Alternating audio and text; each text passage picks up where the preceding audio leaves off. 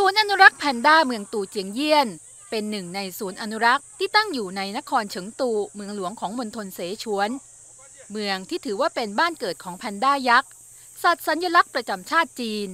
ที่นี่มีสภาพแวดล้อมที่เย็นและชื้น เหมาะสำหรับการเจริญเติบโตของต้นไผ่ที่เป็นแหล่งอาหารหลักของแพนด้า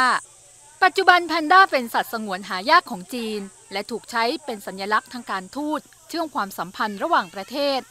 จีนจึงให้ความสำคัญโดยตั้งศูนย์วิจัยและขยายพันธุ์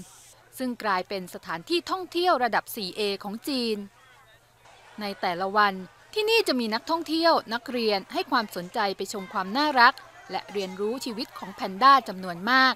ลักษณะเด่นของแพนด้าจะมีขนสีดำและสีขาว บริเวณหัว คอตะโพก ส่วนรอบๆตาทั้งสองข้าง หู ไหล่ ขาหน้า ขาหลัง จะมีสีดำเป็นสัตว์เลี้ยงลูกด้วยนม ชอบอยู่แบบสันโดษ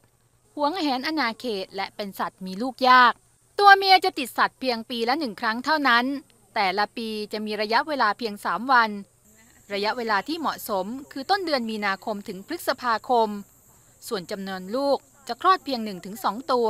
แต่มีโอกาสรอดเพียงหนึ่งตัว จึงเป็นสัตว์ที่ล่อแหลมต่อการสูญพันธุ์ซึ่งรัฐบาลจีนให้ความสำคัญกับการอนุรักษ์และคุ้มครองแพนด้า ในปี 2021 มีรายงานว่ามีแพนด้ายักษ์อยู่ตามศูนย์วิจัย และเพาะเลี้ยงจีนราว 673 ตัว ส่วนแพนด้าป่า สำนักงานป่าไม้และทุ่งหญ้าแห่งชาติจีน ประกาศความสำเร็จการคุ้มครองแพนด้าป่า และที่อยู่อาศัยของแพนด้า ผ่านการอนุรักษ์ป่าธรรมชาติ การคุ้มครองสัตว์ป่า และการสร้างเขตอนุรักษ์ธรรมชาติ พบจำนวนแพนด้าเพิ่มขึ้น จาก 1,100 ตัวในปี